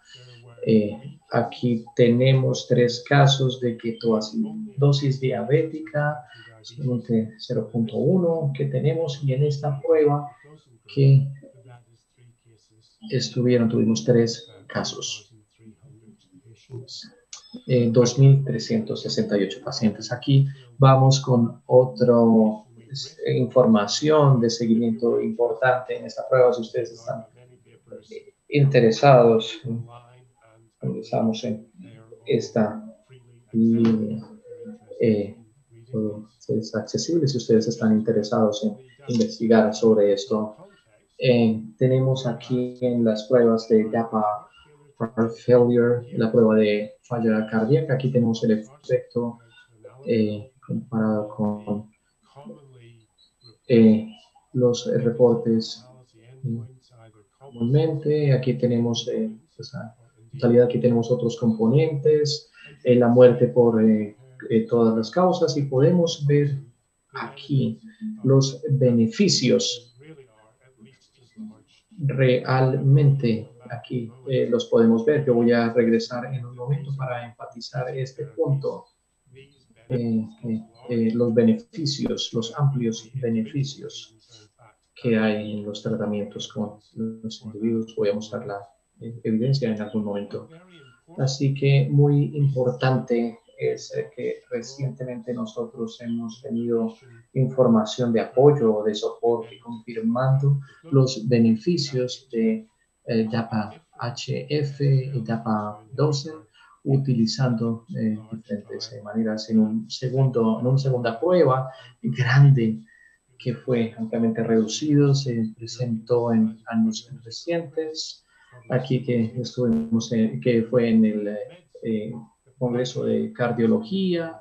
El punto final principal era esencialmente el punto, era esencialmente como el punto final primario. Aquí ustedes pueden ver los resultados que son casi idénticos. Ustedes pueden eh, verlo aquí, que eran con resultados muy similares. Así que esta es uh, evidencia de prueba eh, muy fuerte. Aquí tenemos las dos pruebas, eh, puntos similares, mostrando aquí ustedes pueden ver la tasa de riesgo y aquí pueden ver las dos pruebas, como lo pueden ver, que son muy similares ambos. Hay algunas diferencias en mortalidad, pero es un, en un estudio eh, pequeño en esta parte les muestra un efecto claro de mortalidad. En, las dos pruebas juntas, en el análisis, ustedes pueden ver claramente aquí es GLT2, SGLT2, la división. Y aquí hay más de las, aparte de las cosas que he mencionado también, eh, el EGFR a través del tiempo. Nosotros publicamos esto recientemente, la circulación con DAPA-HF y también publicado en error reducido el decrecimiento lento a través del tiempo. Nosotros sabemos que es un problema grande en los pacientes que se reducido significativamente utilizando estos dos inhibidores. De hecho, este era el caso incluso en pacientes con diabetes de tipo 2. Entonces, nosotros eh, presentamos recientemente aquí en estas curvas, en estos hallazgos, en los pacientes en DAPA HF con diabetes de tipo 2, en esos pacientes que no tenían diabetes, nosotros eh, examinamos la incidencia eh, de, la diabetes y en la prueba y ustedes pueden ver el placebo comparativo en aquellos que redujo el riesgo de eh, la diabetes versus el otro porcentaje. Yo diría que es un beneficio, tiene beneficios adicionales importantes de estos medicamentos. Así que claramente SGLT2 es muy importante en el tratamiento para pacientes con falla cardíaca. La fracción de eyección eh, reduce las muertes, la hospitalización, eh, también mejora, previene que se empeoren los síntomas, eh, eh, hace más lenta el deterioro de la función del riñón a través del tiempo pero lo que es más importante es que esos beneficios son eh, obtenidos en, las, eh, sobre las terapias convencionales. Eh, así que en el año 2020 nosotros estamos en este tiempo para el manejo de la falla cardíaca con la fracción de eyección. Nosotros estamos en el siglo de la evidencia de tres eh, drogas que estamos utilizando en combinación que pueden hacer una gran diferencia para los pacientes con falla cardíaca. Eh, tenemos el uh, beta blocker, NRA, ALB. Nosotros vemos más y más drogas que demuestran beneficios sobre estas tres terapias, pero yo voy a enfocarme solamente en estas dos porque estas son las dos que nosotros, eh, que reducen mortalidad. Eh, recientemente, eh, y Bertratine cambio, muestran beneficio, por supuesto, pero yo creo que hemos puesto más énfasis en estas dos que reducen el riesgo de muerte. Así que como a medida que nosotros entramos a la final parte de, a la parte final de este año, tenemos aquí eh, los, cinco eh, vivos, los eh, cinco pilares. Es, que incluyen la supervivencia. Cada uno de estos tiene un distintivo en el camino fisiológico.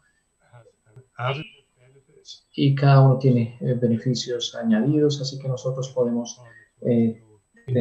proporcionar estas cuatro, estas cinco intervenciones en cuatro píldoras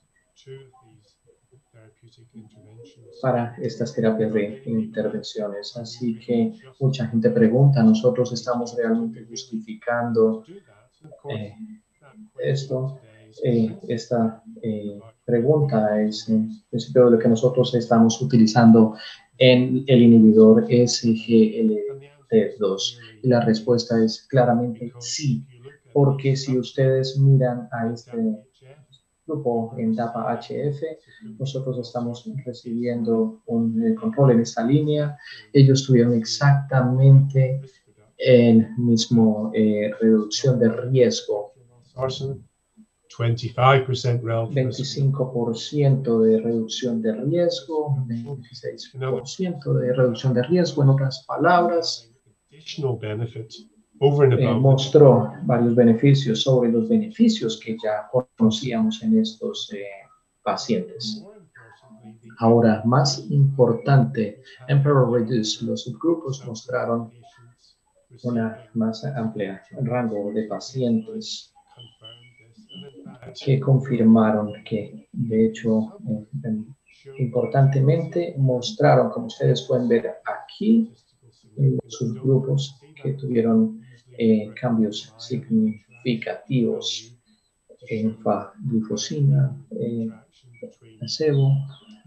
no hay interacción, eh, interés con la droga experimental, pero ustedes pueden ver que había un beneficio importante con enfaglifosina los pacientes, así que estas drogas tienen beneficios adicionales a los beneficios que nosotros obtenemos utilizando eh, esta, eh, después de toda la terapia convencional, así que los beneficios son enormes. Así que, por ejemplo, nosotros aquí vemos, nosotros esperamos ver hablando de reducir el riesgo de hospitalización y muerte por problemas cardiovasculares. Aquí vemos una reducción. Eh, aquí eh, en los eh, hallazgos que nosotros tenemos. Y algo muy importante es que es posible utilizar estos dos tratamientos juntos de manera segura cuando se los usa en combinación. Eh, aquí no voy a entrar en detalles con estos, pero aquí eh, de heart failure eh, describe en detalle la reducción utilizando este medicamento de glifosina con ARNI. Aquí podemos ver que las dos drogas o los dos medicamentos pueden ser utilizados juntos para reducir problemas mayores eh, relacionados con eventos adversos. Pero algunos de ustedes probablemente están diciendo es muy complicado, hay muchos medicamentos que he utilizado en estas terapias, pero yo quiero remarcar que es algo que probablemente eh, muchos dicen, entre ellos, eh, que se está utilizando una terapia de combinación eh, en la intervención. beta blocker, uh, statin, and ACE inhibitor after uh, a primary coronary. Después de intervención, eh, la primera intervención cardíaca y por supuesto la, de, la terapia combinada eh, de tipo diabetes de tipo 2. Así que eh, estamos haciendo excusas, no hay excusas. Eh, tienen, deben realmente utilizar estos medicamentos que dan eh, beneficios a largo plazo.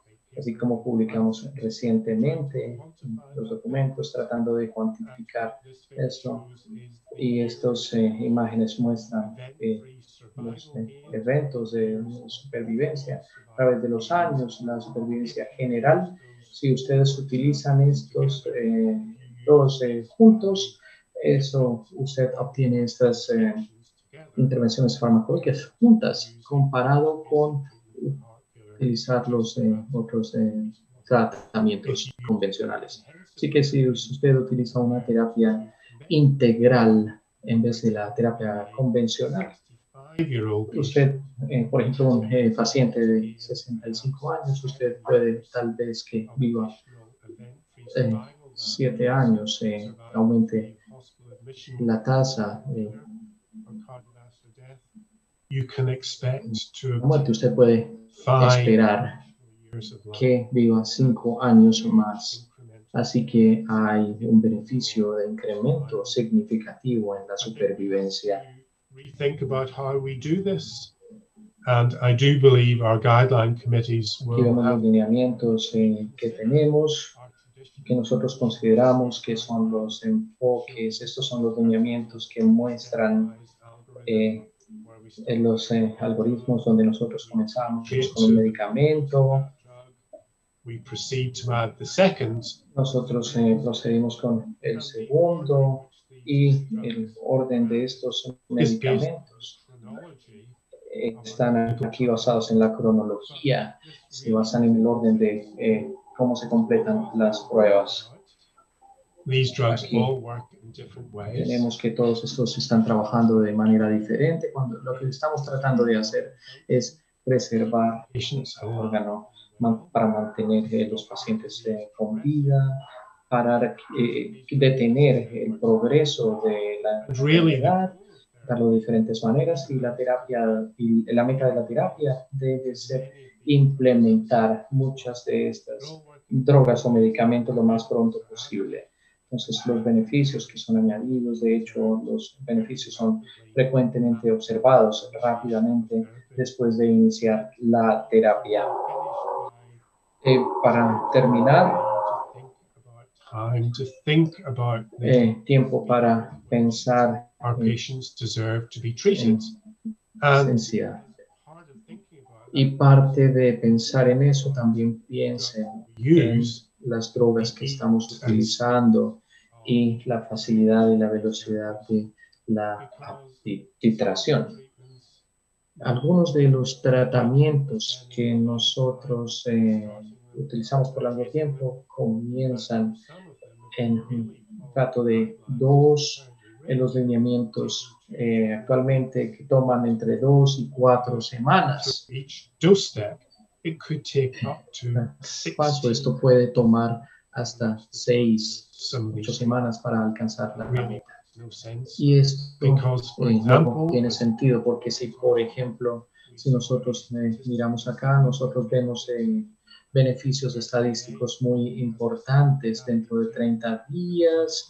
Aquí tenemos el estudio de DAPA-HF que tiene beneficios muy importantes con inhibición de SGLT2. Aquí esto trabaja rápidamente, pero nosotros eh, tenemos que aplicarlos. Una vez más, es posible eh, en los sistemas de salud. El cáncer es considerado como un- una condición urgente en términos de diagnósticos, eh, pero el tratamiento, nosotros podemos tener que la supervivencia no utiliza como eh, alguna forma de cáncer y tenemos la urgencia que debe haber con los pacientes con falla cardíaca, así que tenemos que pensar por qué esto nos está deteniendo, por qué no estamos haciendo más. La inercia, yo pienso que el problema es esto, es algo, una condición normal humana. Eh, realmente es la, tendencia a eh, no hacer las cosas a menos que tengamos que hacerla. Yo creo que todos clínicamente, la inercia clínica, los colegas, algunas de estas cosas que eh, se pueden ver los pacientes failure, eh, que tienen falla de, del corazón suave, o un cáncer de colon o cáncer de seno. Nosotros no hablamos de fallas cardíacas, los pacientes que no son estables o llevan una terapia eh, corriente, se han mostrado con diferentes pruebas y también pacientes que tienen síntomas suaves, que están en buenos tratamientos, que progresan rápidamente. Eh, ¿Qué debo cambiar? ¿Debo cambiar algo? Esto es inconveniente para el paciente y si usted decide ver deteriorates, you'll miss the opportunity. usted falla, eh, deja pasar la oportunidad porque primero eh, eh, se, se permite que al pasar eh, se deteriore, eh, pueda empeorar y tal vez eh, no tenga la oportunidad de mejorarlo. Así que voy a terminar con esta diapositiva que eh, lo pone a pensar.